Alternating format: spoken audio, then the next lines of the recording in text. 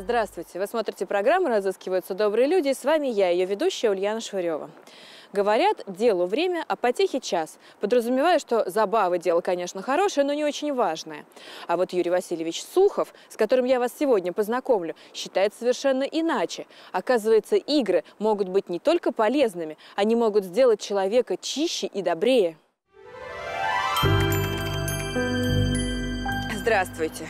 Здравствуйте. Прям по стойке смирно ждете меня, наверное. Ну да, наверное, вас. Дмитрий. Очень приятно. Ну, а я Ульяна. Мне тоже очень приятно. А, я знаю, что мы с вами не зря вот так встретились на улице на морозе, потому что вы меня поведете своей обычной дорогой, которой вы ходили до шестого класса. Да? Да, все верно. Дом, школа, Пойдем. школа и снова дом. Так жил Дмитрий до 13 лет. что, Что, почему и до говорить, скучно. Конечно, были друзья, какие-то прогулки, но не было никакого по-настоящему серьезного дела, которое бы захватывало. Так, чтобы глаза горели. И вот однажды, в один самый обыкновенный учебный день, Русичи в моей жизни появились в шестом классе. Это пришел э, Юрий Васильевич на урок, я помню, математики. Нам его сорвал практически. Но это был такой приятный э, срыв.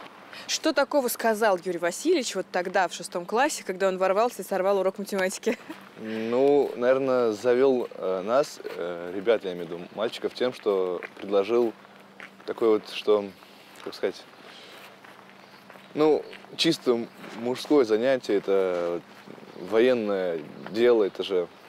А как это можно на пальцах вот так вот в классе объяснить? А никак, э, просто пришел, показал, позвал на занятия, же там, были в этот же день.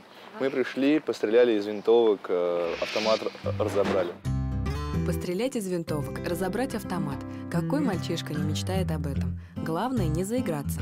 Но Юрий Васильевич Сухов, когда создавал православный военно-патриотический клуб «Русичи», все рассчитал правильно. Оружие опасно в руках человека, в голове которого нет ума, а в сердце нет милосердия. Во главу угла Юрий Сухов ставит воспитание души через изучение старинных русских игр, через изучение национальных традиций, через возвращение к духовным истокам. С появлением Русичей в твоей жизни что изменилось? Если бы их бы не было, я бы, наверное, был бы эм, как большинство наших сверстников, моих сверстников, которые э, сейчас идут по, по улице, пьют и курят, а я, То есть это все-таки уберегло. да.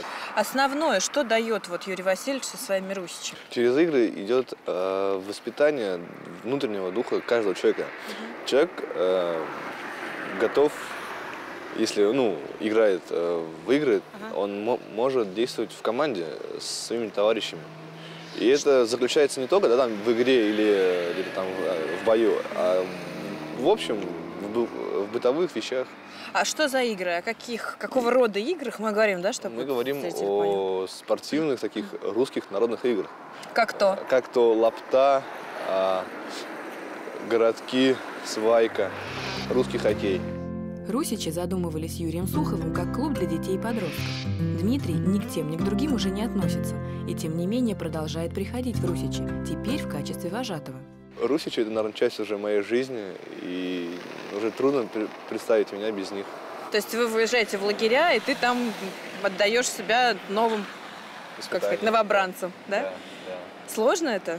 Это и сложно, и интересно. Вот лично для меня это интересно. А что, ну, сло- сло- сло- сложности, когда тебе интересно, это ничто.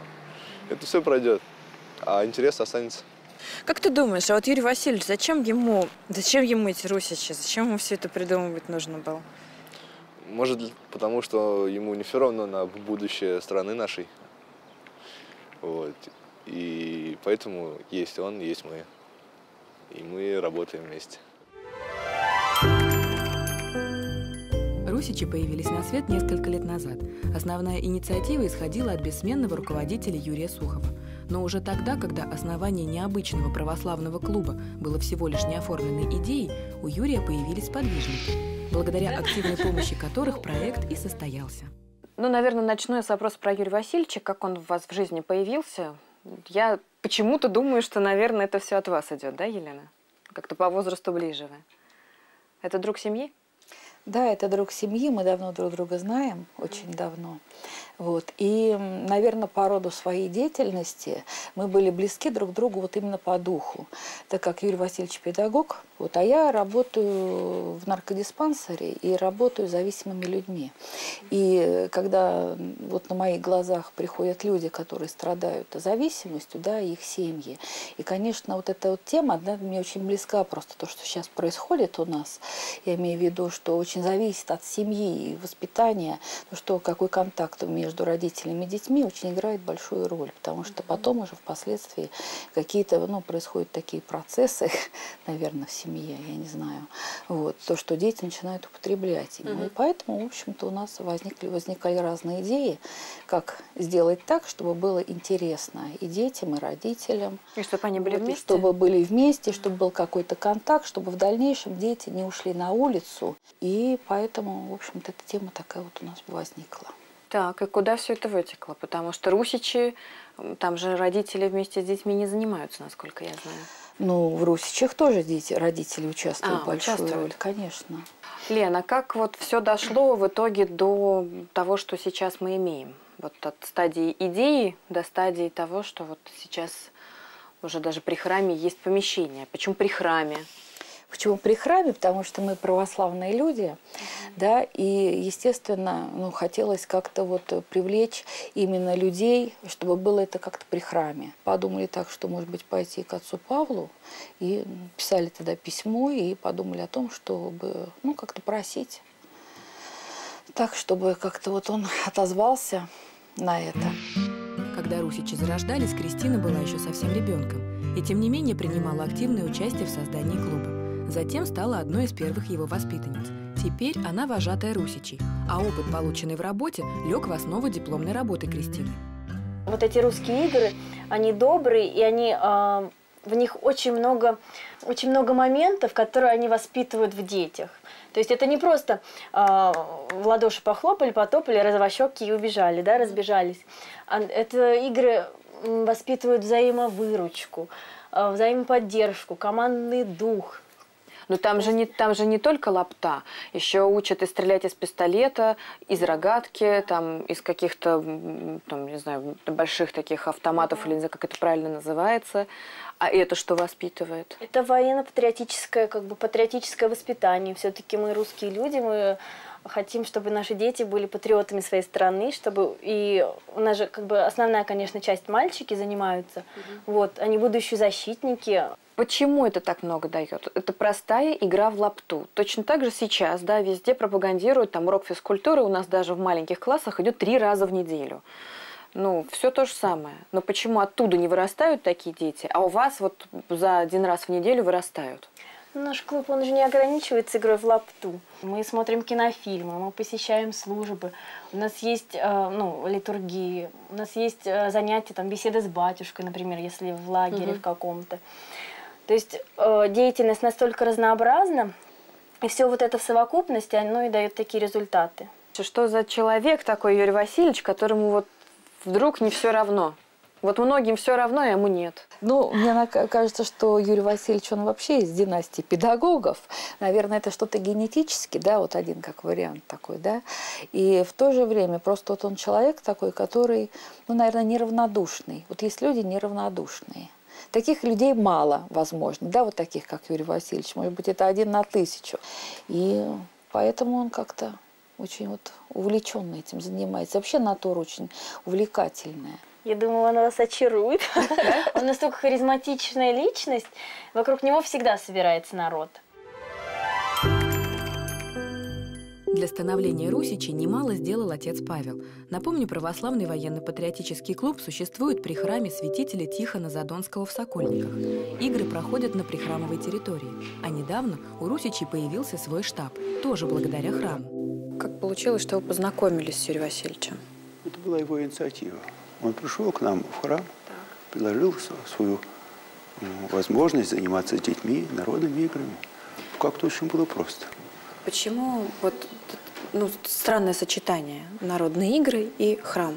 Почему он не пришел в муниципалитет или там в какую-нибудь а, управу какого-нибудь района? Ну, а всякое такое движение, оно требует, конечно, многой поддержки и и управы, и муниципалитета, и общественных организаций. Но в том числе Юрий Васильевич искал помощи и в храме.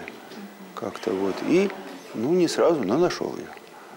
Вот. Я думаю, что, конечно, церковь должна поддерживать всякую добрую инициативу, потому что, конечно, в современном положении основы общества разрушаются. И это не только ну, там, отсутствие веры, но и дальнейшее разрушение идет уже в сторону потери взаимопонимания даже э, ну, в семье и среди, роз, среди ровесников и какой-то уход в виртуальную реальность, нереальность такую виртуальную.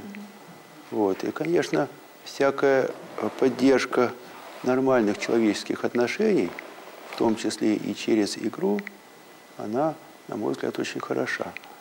Потому что игра, народная игра, особенно не просто там, она помогает человеку как-то найти понимание между другими, между, родств... между сверстниками и со старшими понимание найти, и как-то включиться в общее дело. Пусть оно сейчас и не имеет какого-то реального выхода, но оно создает условия для того, чтобы человек мог э, чувствовать свою значимость и э, учиться ее реализовывать в жизни.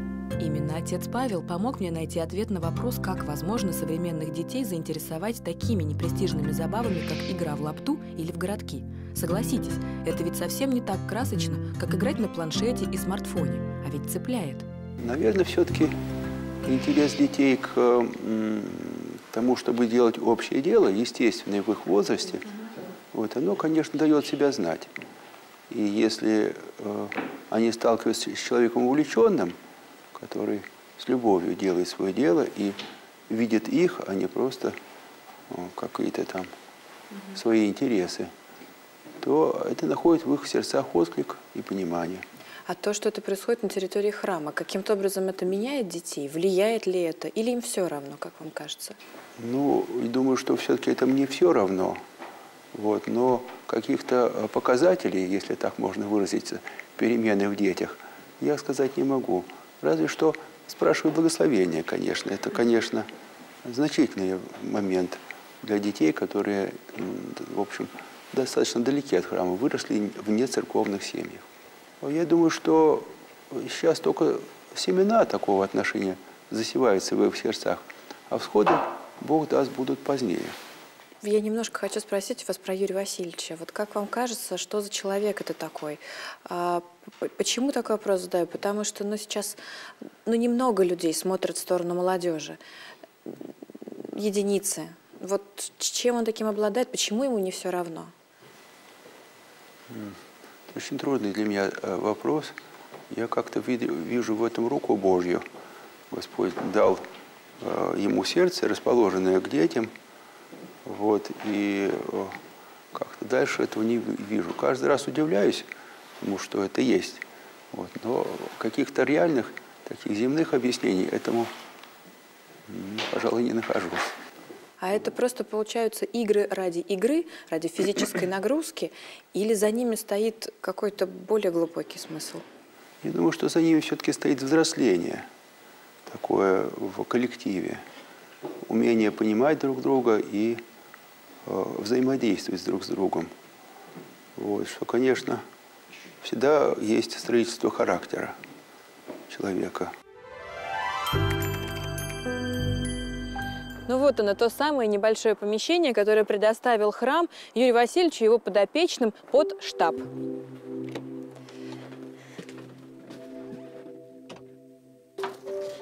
Здравствуйте. Здравствуйте. Я, собственно, Ульяна. Меня Михаил. Очень приятно, Михаил. Взаимно. Спасибо, что вы меня ждете. Ну, показывайте мне ваш штаб. Ну, пройдемте сюда. Да. Ух ты, сколько у вас тут всего. Да. Это вот как раз тот самый реквизит, который для игр. Да, это, соответственно, весь реквизит, который мы используем. Ага. Я знаю, что вы играете в лапту. Где, например, да, для лапты мы что? играем в лапту, вот, соответственно, вот здесь вот у нас биты чем играют? Я ни разу не пробовала играть Вот лапту. играют, собственно, вот так. такой вот битой. Угу. Играют, на самом деле, мечами, э, кожаными, но так как они очень жесткие, мы играем обычными теннисными мячами. А это возможно вообще попасть по теннисному Конечно, мячику такой возможно. палкой? Сколько надо учиться? Ну, тут нужна просто хорошая координация. Учиться не нужно. Рядом с инвентарем для игры в лапту оружие для лазерного пейнтбола.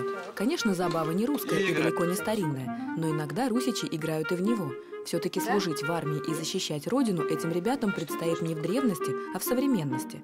Но присутствие таких штук в русичах скорее исключение, чем правило. Ой, это мишень. Мишень для чего? Это мишень для лука. Вот А, и лук. вот и лук, слушайте. Да, вот лук. Это настоящий, да? Это настоящий лук, да. Настоящий лук. Тугой какой. М. А стрелы тоже настоящие? Стрела, конечно, настоящая. А это же Да, опасно. Ну, это не так опасно, если соблюдать технику безопасности. Кто следит за техникой безопасности? За техникой безопасности следим все взрослые Мгм. и кто помогает. А какой у вас разброс возраста детей? Детям там от 6 лет до 17-16 лет. Пять лет назад он пришел сюда ребенком. Его пригласил друг. Теперь бывший воспитанник, 16-летний Михаил, один из самых молодых вожатых русичей. Что вас привлекло? Вот эти какие-то мальчишечьи атрибуты, то, что Ну, можно по лесу погонять? Скорее всего, ну и сам коллектив, который здесь был. Он всегда здесь был хорошим, слаженным. Мгм. А вот сейчас, уже будучи ну, достаточно взрослым молодым человеком, а, как вы думаете, это просто игры такие, забавы, или что-то за ними стоит большее? Ну, мне кажется, за этим стоит что-то большее, возрождение, наверное, культуры. Мгм. А что детям это дает? Вот вам, тем подросткам, которые еще приходят? Ну, это дает, наверное, физическое развитие. И все? Ну, не только духовное тоже. А кем вы хотите стать? Я хочу стать педагогом. Педагогом? Да. Это вот желание случайно появилось не после того, как вы в Русичах Ну, оказались? вот как раз после этого. Несмотря на то, что Михаил совсем еще юный, родители со спокойной душой доверяют ему своих маленьких детей. Наверное, потому что знают, людям, которых воспитал Юрий Васильевич, доверять можно, потому что они ответственные, такие, как сам отец-основатель Русичей. Познакомиться с Юрием Васильевичем и его русичами проще простого. Достаточно в любое воскресенье приехать к храму святителя Тихона Задонского, который находится в Москве, в Сокольниках.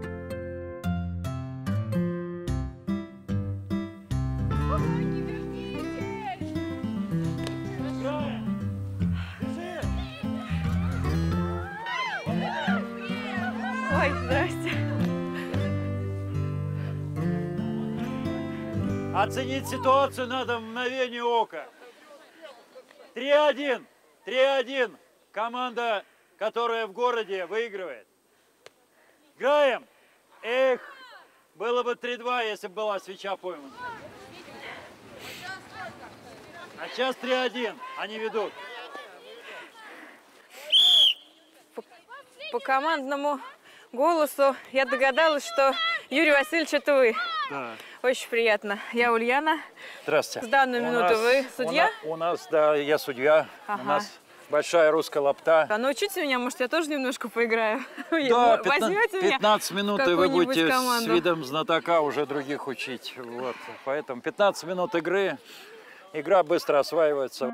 Объяснить на словах, как играть в лапту, очень сложно. Эту забаву надо осваивать на практике. Увлекательное, я вам скажу, занятие. Куда интереснее всяких компьютерных игр. А общение, которое получаешь во время игры, не сравнить со скучной и порой бестолковой перепиской в соцсетях. Мы искали для детей какое-то хорошее, интересное дело, чтобы для нас, для всей семьи оно было интересно, чтобы и для них, и для Родины было это пользу приносило. А у вас сколько детей и кто? Двое детей, Варя и Илья. А, то есть мальчик и девочка, и обе, оба здесь. Да, да, оба здесь. Как меняются дети? Ну, во-первых, э, они, конечно, наверное, боль- больше научились отдавать и перестали какие-то свои эгоистические интересы на первый план выставлять. А вот если поговорить про Юрия Васильевича, что это за человек, почему ему не все равно? Потому что я думаю, что это человек, который э, любит детей, любит свою родину, которого воспитали хорошие, добрые люди, вложили в него очень много прекрасного и замечательного. Да? Но, в общем, человек, который просто э, так воспитан, наверное, который отдает людям много тепла, много доброты, много любви. Так, а это тот самый лук. А это тот самый лук. И Тот одни девчонки. Ну, э, мальчишки играют в лапту, Ага. занято. Тот самый лук, который, в который, из которого стреляли и тысячу лет назад, и 500 лет назад, и сто лет назад. Это обычный лук. Научиться сложно? Научиться несложно, но все равно определенной техникой надо обладать. Здесь, в Русичах, не те луки, из которых Подождите, стреляют современные подождите. спортсмены. Они подобны тем, из которых пускали стрелы наши с вами предки. Натянуть тетиву на таком луке, я вам скажу, не самое простое дело. Так. Можно, да, попробовать? Да, можно попробовать, нужно даже. Сейчас левой рукой. Щеки красные у всех. Да. Тепло вам? Тепло? Совсем не холодно? Нет, смотри, и даже прям ни капельки нигде, ни в одном месте. Часто сюда приходите? Твоя любимая здесь игра это какая? Моя это стрельба из лука. Из лука. Так. А у девчонок какая любимая игра? Ну, лапта, наверное. лапта? Почему лапта? Интересно. Ну, как бы новые, необычные, никогда раньше не играли, пока сюда не пришли. Что в этой игре главное? Команда, мне кажется. Командная работа. А сейчас я смотрю, вы играете в хоккей, и тут же и девчонки. Что девчонок в хоккее привлекает? Ну, я люблю хоккей, но я не знаю, что привлекает. Нравится тоже бегать. Ну, это же мальчишечья игра. Весело. у нас мальчики нормально играют, спокойно, поэтому не страшно. Ну, теперь расскажите мне про Юрия Васильевича. Что это за такой человек, которому вот все вы зачем-то нужны?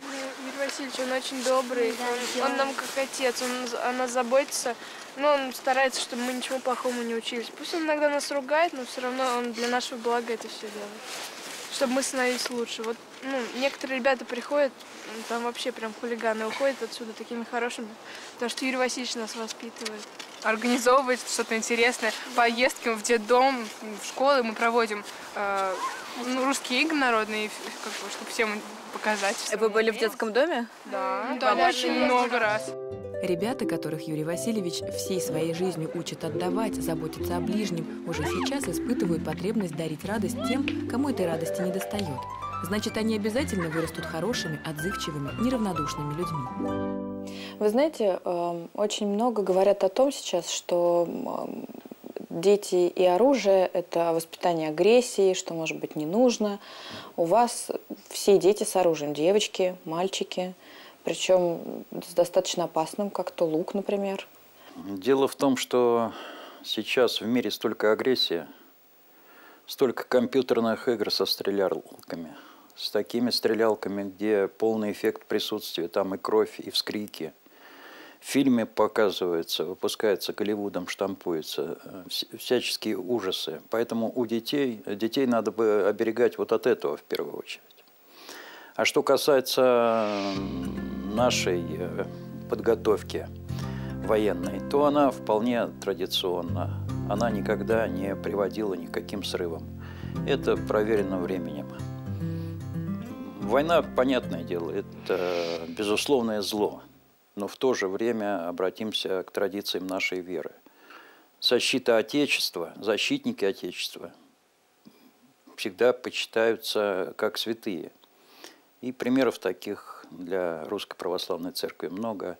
Как вам удалось современных детей, которые полностью погрязли сейчас в айпэдах, в компьютерах в интернете, э, полюбить играть в лапту?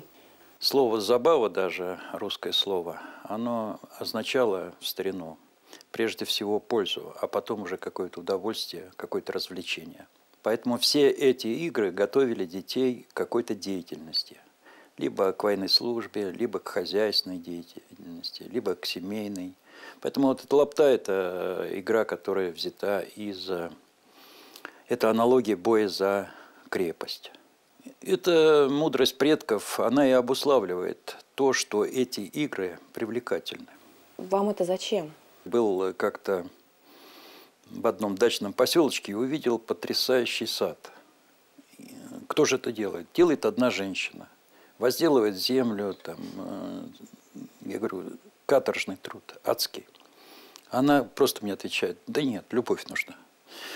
Вот так и здесь. Никаких сверхусилий я не прикладываю. Ваша любимая игра какая? Ну, вне конкуренции это отмечают все, кто занимается народными играми, испокон веков причем. Вне конкуренции лапта. Дети меняются. человек, который играет в лапту, и человек, который не играет в лапту. Они отличаются. Проходит время, человек, который играет в лапту, становится по-другому глядит на мир, по-другому относится к товарищам, по-другому относится к себе, наступает на свои прихоти, желания, на свое эго, в конце концов. А это очень важно, потому что пропаганда эгоизма в наше время и гедонизма одновременно с ним – это э, очень опасно для нашего подрастающего поколения.